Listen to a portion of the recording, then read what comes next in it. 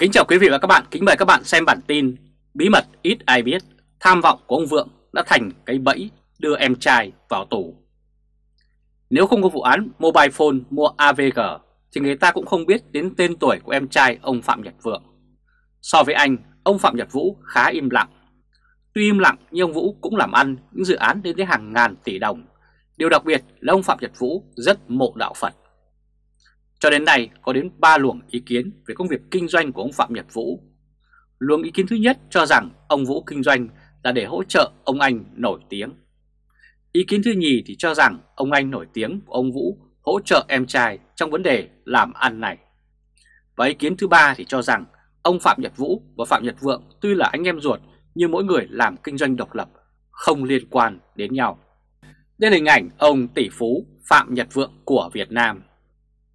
Theo một số người có dịp gần gũi với anh em nhà đại gia này nhận xét, so sánh giữa ông anh Phạm Nhật Vượng và ông em Phạm Nhật Vũ thì người ta nói rằng mọi tinh túy đều dồn cho ông anh. Ông em khá tầm thường, thiếu năng lực và thiếu tầm vì thế họ cho rằng việc kinh doanh ngàn tỷ của ông Phạm Nhật Vũ là có sự hỗ trợ về vốn và quan hệ của người anh. Người ta cũng nói rằng ông Phạm Nhật Vũ chơi và giao lưu với ông Bộ trưởng sự trung gian của ông anh nổi tiếng còn ông Vượng thì tầm của ông là chơi với ủy viên Bộ Chính trị và đặc biệt là các ông xếp lớn trong tứ trụ của Đảng Cộng sản Việt Nam. Đó là lý do lý giải cho thế lực vô đối hiện nay mà ông Vượng đang có so với các đối thủ kinh doanh khác. Theo nhiều người đánh giá, ông Vượng là người ít nói, thâm trầm nhưng lại có nhiều toan tính ít ai ngờ. Ẩn đằng sau một con người ít nói đấy là những tham vọng rất lớn. Ông Vượng muốn rằng ông có thể làm chủ truyền thông để phòng hề bất chắc từ xa cho tập đoàn Vingroup của ông. Ông biết rằng có những cá nhân ban đầu Trung ương chỉ muốn cảnh cáo và bật đèn xanh cho truyền thông khui ra. Đến khi truyền thông khui quá đà thì Trung ương không còn cách nào khác dừng lại được và phải cho vào cuộc để làm tới nơi tới chốn. Những đại gia là nạn nhân của truyền thông cũng rất nhiều. Theo nguồn tin giấu tên cho biết, quan điểm của ông Chủ tịch Tập đoàn Vingroup đã đừng để tin tức xấu của tập đoàn và bản thân lãnh đạo tập đoàn xuất hiện trên truyền thông. Rồi mà xuất hiện thì phải có giải pháp dập tắt ngay khi nó mới chớm nở. Đấy là quan niệm xuyên suốt mà ông Vượng không bao giờ lơ là. Đây là hình ảnh ông Phạm Nhật Vũ, em trai của ông Phạm Nhật Vượng. Hiện nay ông Vượng không ngần ngại nuôi một lực lượng rất lớn chuyên chống lại các tin tức bất lợi cho Vin trên mạng xã hội. Đội ngũ này mạng xã hội gọi là bỏ Vin hay còn gọi là bò, nhưng lực lượng này rất có chất lượng, sẽ dùng những quy định của Facebook hoặc YouTube để đánh sập hoặc khóa mõm những ai mà họ cho là có thể gây ra thông tin bất lợi cho Vin. Ngoài ra, ông Vượng hiện nay có mối quan hệ rất tốt với trưởng ban tuyên giáo trung ương của Đảng Cộng sản Việt Nam, đó là ông tướng Nguyễn Trọng Nghĩa. Cũng có thông tin nào trên báo chí bất lợi cho ông Vin thì ông trùm ngành báo chí Việt Nam này lập tức chỉ đạo trò gỡ luôn. Thực ra tham vọng làm chủ truyền thông của ông Vượng đã được xây dựng theo cách khác chủ động hơn. Có ý kiến cho rằng việc nuôi một lực lượng được gọi là bỏ vin và có kết thân với người đứng đầu ngành tuyên giáo chỉ là phương án 2 sau khi phương án 1 đã thất bại. Vậy phương án 1 là gì? Câu hỏi đặt ra. Phương án 1 là lập ra một công ty truyền thông cho em trai điều khiển, đó chính là công ty AVG, bóng Phạm Nhật Vũ đứng làm chủ. Tuy nhiên, tại quốc gia Cộng sản, việc tư nhân lập công ty truyền thông là điều cấm kỵ. Dù ông Vượng đứng trung gian để em trai là người đứng đầu Bộ Thông tin Truyền thông bắt tay nhau, nhưng Trung ương Đảng vẫn phá.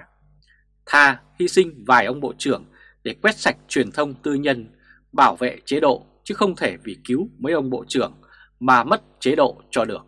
Đó cũng là lý do Phạm Nhật Vũ đã phải vào tù mặc dù đã cột được hai ông bộ trưởng dính chùm. Đây là hình ảnh vụ án mobile phone mua AVG.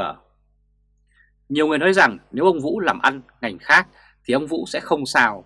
Đằng này làm công ty truyền thông để phục vụ anh trai nên bị phá cho tan và ông Phạm Nhật Vũ đã phải vào tù. Đấy là những gì mà nguồn tin giấu tên đã cho hay. Ý kiến này có vẻ rất có lý.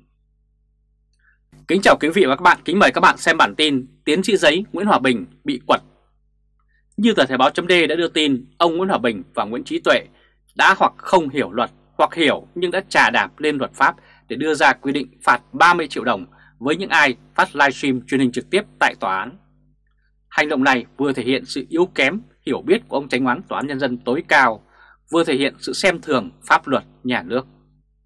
Hành động của Nguyễn Hòa Bình và Nguyễn Trí Tuệ không gì ngoài mục đích phục vụ cho việc giấu giếm các hành động bẻ lệch cán cân công lý của quan tòa ở chế độ này.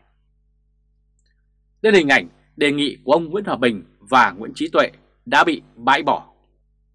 Sáng ngày 18 tháng 8, với tỷ lệ tán thành 100%, Ủy ban Thường vụ Quốc hội thông qua pháp lệnh với nhiều điểm thay đổi so với dự thảo được Tòa án Nhân dân tối cao trình 3 ngày trước đó.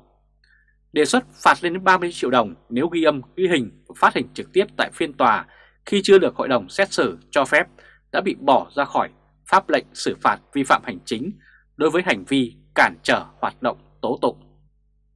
Theo đó, đề xuất trong dự thảo về phạt từ 7 đến 15 triệu đồng với người tham dự phiên tòa nếu ghi âm, ghi hình hoặc ghi hình có âm thanh phiên tòa và phát trực tiếp trên không gian mạng. Nhà báo ghi âm, ghi hình hoặc ghi hình có âm thanh người tham gia tố tụng khi không được sự đồng ý của họ đã được bỏ đi. Việc phạt 15 đến 30 triệu đồng nếu nhà báo ghi âm, ghi hình hoặc ghi âm thanh có tại phiên tòa của người tham gia tố tụng khi không được sự đồng ý của họ và phát trực tiếp trên không gian mạng cũng không còn được quy định.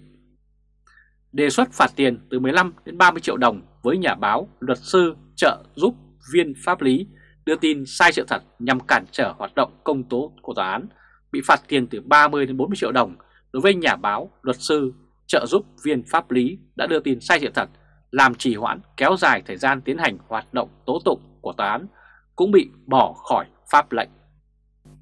Bào chữa cho đề xuất sai luật, ông tránh án Tòa án Nhân dân tối cao Nguyễn Hòa Bình nói nhằm đảm bảo quyền con người, quyền riêng tư và bảo đảm sự công tâm của thẩm phán. Ông ví dụ một vụ án ly hôn có rất nhiều nội dung, tình tiết như chia con, chia tài sản. Trước phiên tòa, những bên liên quan phải trình bày nhiều lý lẽ. Nếu ai đó quay rồi lại phát hình trực tiếp livestream sẽ là vi phạm quyền con người, vi phạm quyền bảo vệ thông tin cá nhân. Đây là hình ảnh đề nghị bị chỉ ra là sai luật. Theo ông Nguyễn Hòa Bình, mục tiêu tối thượng của phiên tòa hướng đến bản án công tâm, đúng pháp luật, rằng nếu ai tại phiên tòa với hàng trăm điện thoại quay để livestream phiên tòa thì chủ tọa có toàn tâm toàn ý để đưa ra bản án đúng pháp luật hay không, nhất là quyết định liên quan đến sinh mạng con người. Ông Nguyễn Hòa Bình vẫn cãi chảy cãi cối là đề xuất đúng luật. Tuy nhiên trước đó một ngày các chuyên gia chỉ ra đề xuất trên là vi phạm pháp luật. Những dẫn chứng của các chuyên gia trên Việt Nam Express đã nói rất rõ ràng. Ủy ban Thường vụ Quốc hội cũng đã xem xét và họ đã bác bỏ đề xuất của Nguyễn Hòa Bình và ông Nguyễn Trí Tuệ. Như vậy là sự cứng đầu, sự bất chấp pháp luật của ông Nguyễn Hòa Bình đã bị các chuyên gia quật lại và ông Nguyễn Hòa Bình đành chịu thúc thủ. Được biết, ông Nguyễn Hòa Bình chính là tránh án chủ tọa phiên tòa giám đốc thẩm vụ án Hồ Duy Hải.